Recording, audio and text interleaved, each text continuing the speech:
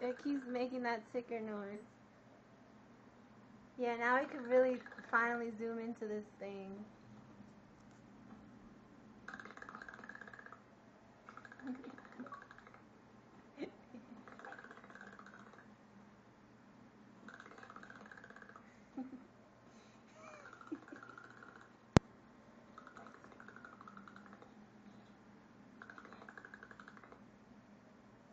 Maybe that's why it just goes around like a maniac, because it can't see.